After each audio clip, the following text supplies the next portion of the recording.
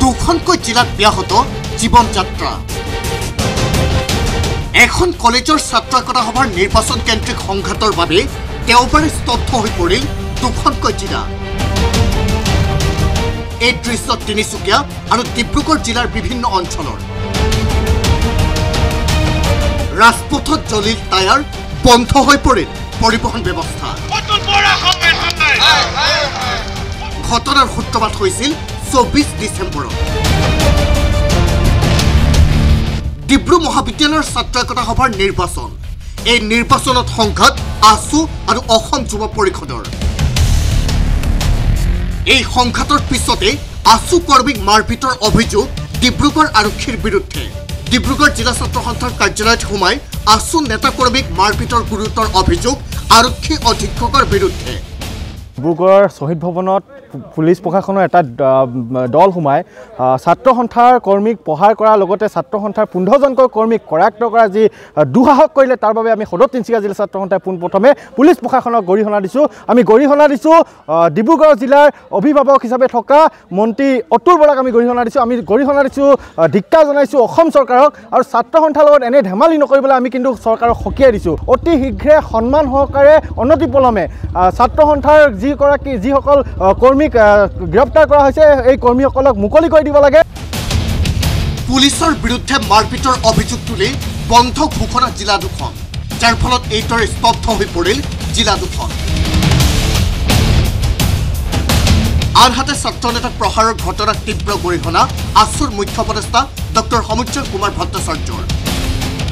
আৰক্ষী বাহিনীয়ে শ্বহীদ ভৱনত শ্বহীদ ন্যাসত সোমাব তাত থকা ছাত্ৰ সন্থাৰ সদস্যসকলক গ্ৰেপ্তাৰ কৰিব বৰ্বৰভাৱে অত্যাচাৰ কৰিব আকৌ আৰক্ষীৰ জিম্মাটো অত্যাচাৰ কৰিব এই কথা আমি মানি নলওঁ।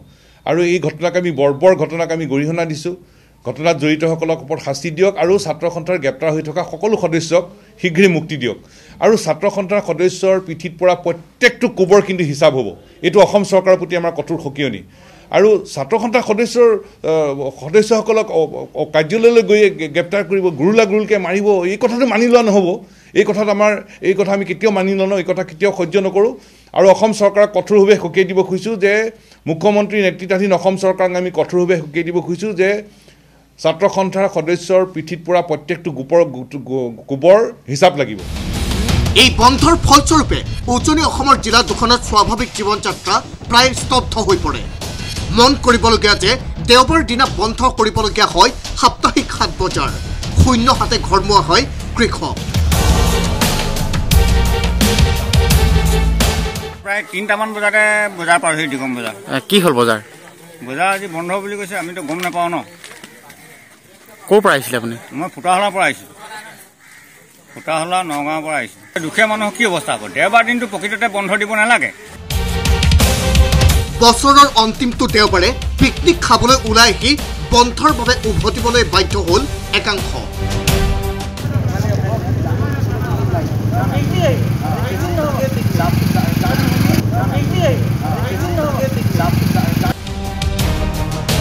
উল্লেখ্য যে সমগ্ৰ ঘটনাৰ ন্যায় সমাজৰ প্ৰতিটো পক্ষই বিচাৰিছে যদিও এখন মহাবিদ্যালয়ত ঘটা ঘটনাক লৈ দুখনকৈ জিলা বন্ধ দিয়াক লৈও বহুতে উত্থাপন কৰিছে প্ৰশ্ন।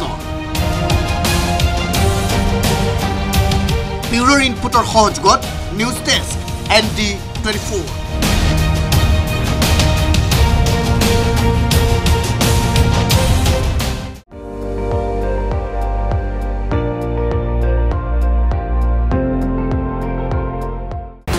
আপুনি চাই আছে এন ডি টুৱেণ্টি ফ'ৰ। সৰ্বশ্ৰেষ্ঠ নহয় সৰ্বোত্তমৰ দৌৰত।